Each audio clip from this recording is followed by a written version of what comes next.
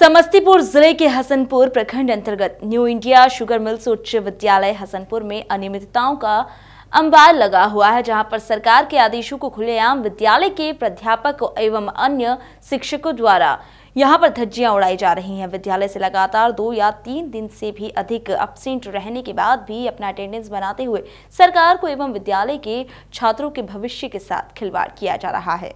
शिक्षा विभाग के पास आर्थिक तंगी आ गई उन्होंने क्लर्क और कंप्यूटर ऑपरेटर को हमारे इंस्टीट्यूट में नहीं बहाल किए हर हर काम शिक्षक ही करेंगे। जब समान काम समान वेतन का मुद्दा आता है तो सुप्रीम कोर्ट उसको अवहेलना कर देती है और काम के लिए क्यों नहीं अवहेलना करती? है आपके यहाँ क्लर्क नहीं है? क्या इसका रिटर्न में आप लिख के दिए हैं बढ़िया अधिकारी? को? एक बार दे चुके हैं जिसका हमारे पास उसका रिसीविंग प्रूफ भी होगा और चाहिए तो और भी दे सकते हैं ऐसा कोई बात नहीं है।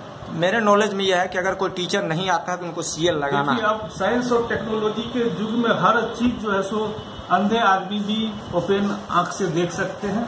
या एनआईएसएम जो है सो प्रखंड मुख्यालय में अवस्थित एक उच्च स्तरीय संस्थान है। यहाँ क्लर्क नहीं है एक बच्चा बच्चा भी जानता है। इसमें कहने की और लिखने की कोई प्रश्न चिन्ह नहीं उठता है। इन मेरा मामला दूसरा था। मेरे कहने का मतलब था कि आपके यहाँ जो टीचर का अटेंडेंस का मामला, जब आप यहाँ के प्रिंसिपल हैं तो आपकी देख रेख में अटेंडेंस बनना है टीचर की। और टीचर का अटेंडेंस पहले, खाली छोड़ा जाता है उसमें दो टीचर का सीएल लगाया गया तो क्या बाकी के दो टीचर जो एबसेंट थे, उनकी सीएल क्यों नहीं लगाएगी देखिए, काम का लोड सिर्फ़ प्राचार्य है तो सिर्फ़ हमको ऑफ़िस में बैठने का ही काम नहीं है। हमको जैसे इस परिस्थिति में भी दो बार एवोलेशन ड्यूटी मिली है। एक बार इंटर का एनुअल कॉपी का एवोलेट करके आए हैं, इसके बाद फिर कंपार्टमेंटल में भी गए हैं। समर वेकेशन के पूर्व हम यहाँ पर कार्यरत नहीं थे, हमने प्रभारी किसी अन्य शिक्षक को दे दिए थे, जो सबूत होगा आदेश पुस्तिका में कौन थे। उसी पीरियड में यह नेपकिन योजना का प्रशिक्षण भी आया है और उस शिक्षक का जो है उपस्थिति बंदी में टूटैक नहीं बना